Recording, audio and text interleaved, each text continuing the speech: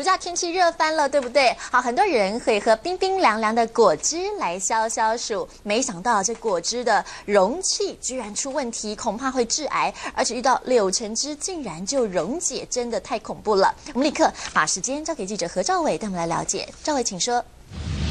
好，主播塑化剂风暴才刚刚结束，却传出了这个装果汁的容器竟然也出了问题。有民众呢，上个月二十二号到这个果汁店买了五杯现打的柳橙汁，没想到二十分钟之内呢，他就把这个杯盖哦溶出了四个大洞，而塑胶碎屑就溶在这个果汁里面。吓了这个民众是赶快把它送去检查，结果发现呢，这个恐怖杯盖的材质呢叫做聚苯乙烯，遇到酸碱呢或是过热，恐怕都会释出有毒的致癌物，叫做苯乙烯。那这个制造这个恐怖杯盖的厂商呢，就是彰化鹿港镇的这个益生塑胶公公司啊，而他们生产这个恐怖杯盖呢，没有依照规定呢印制回收的标章，也没有任何的编号标章，而公司呢却是辩称说，原本呢生产的杯盖大多都有标示，如果没有标示呢，可能是给商家的试用品。而根据这个世界卫生组织对这个苯乙烯的这个认定呢，它是会对这个动物会确定会导致癌症，对人类呢也可能会致癌。如果民众如果长期接触或是饮用的话呢，恐怕会导致肠胃道方面的癌症，也可能会损伤这个生殖能力哦。而新北市卫生局呢也这个提出了呼吁，说店店家应该要。立即停止使用这种问题的杯盖，